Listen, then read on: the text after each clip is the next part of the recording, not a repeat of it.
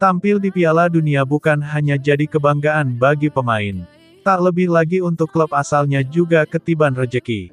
Pasalnya, FIFA akan membayar kompensasi klub yang nilainya lumayan besar. Bagi klub-klub besar Eropa termasuk 20 klub Premier League.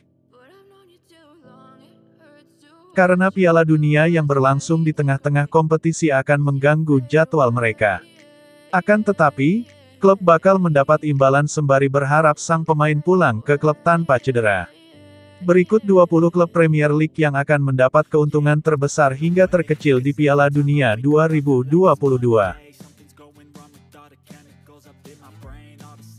FIFA akan membayar ke klub sekitar 8.500 pounds atau sekitar 157 juta rupiah tiap pemain perharinya.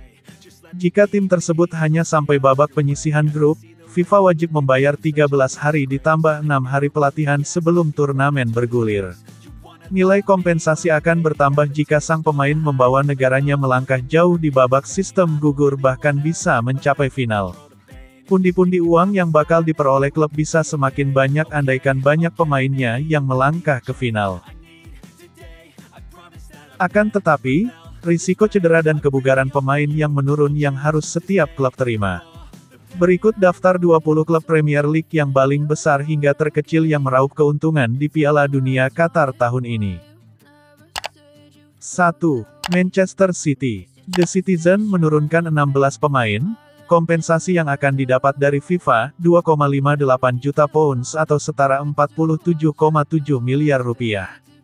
2. Manchester United, 14 pemain, Kompensasi yang didapat dari FIFA, 2,26 juta pounds atau 41,8 miliar rupiah.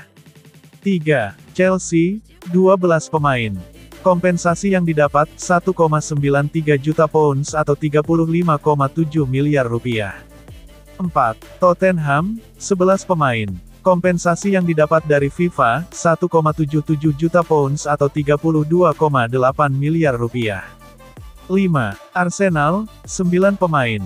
Kompensasi yang didapat dari FIFA, 1,45 juta pounds atau 26,8 miliar rupiah.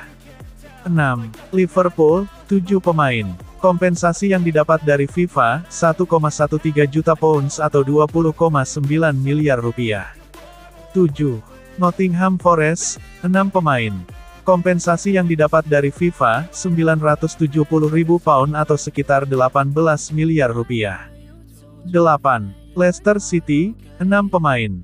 Kompensasi yang didapat dari FIFA, 970 ribu pounds atau 18 miliar rupiah.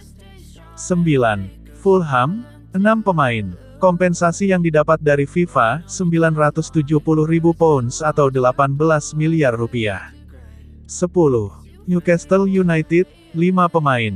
Kompensasi yang didapat dari FIFA, 800 ribu pounds atau 14,8 miliar rupiah.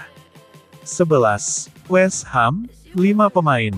Kompensasi yang didapat dari FIFA, 800 ribu pounds atau 14,8 miliar rupiah. 12. Brighton, 4 pemain. Kompensasi yang didapat dari FIFA, 646 ribu pounds atau 12 miliar rupiah. 13. Brentford, 4 pemain. Kompensasi yang didapat dari FIFA, 646 ribu pounds atau 12 miliar rupiah. 14. Aston Villa, 4 pemain. Kompensasi yang didapat dari FIFA, 646 ribu pounds atau 12 miliar rupiah. 15. Everton, 4 pemain. Kompensasi yang didapat dari FIFA, 646 ribu pounds atau 12 miliar rupiah. 16. Wolves, 3 pemain. Kompensasi yang didapat dari FIFA, 484 ribu pound atau sekitar 9 miliar rupiah.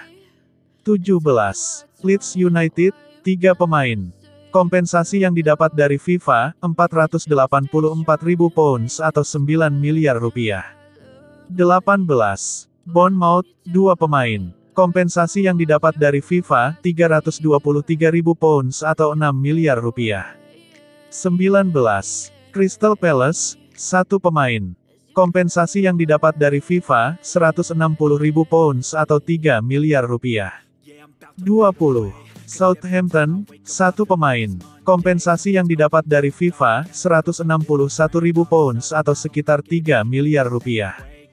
Jumlah ini hanya untuk babak penyisihan grup dan nilainya bisa bertambah sejauh pemain dari klub tersebut melangkah ke babak sistem gugur bahkan bisa sampai ke final di Piala Dunia 2022. Demikianlah informasi yang saya sajikan kali ini. Minta dukungan dan support dengan like dan subscribe-nya. Terima kasih.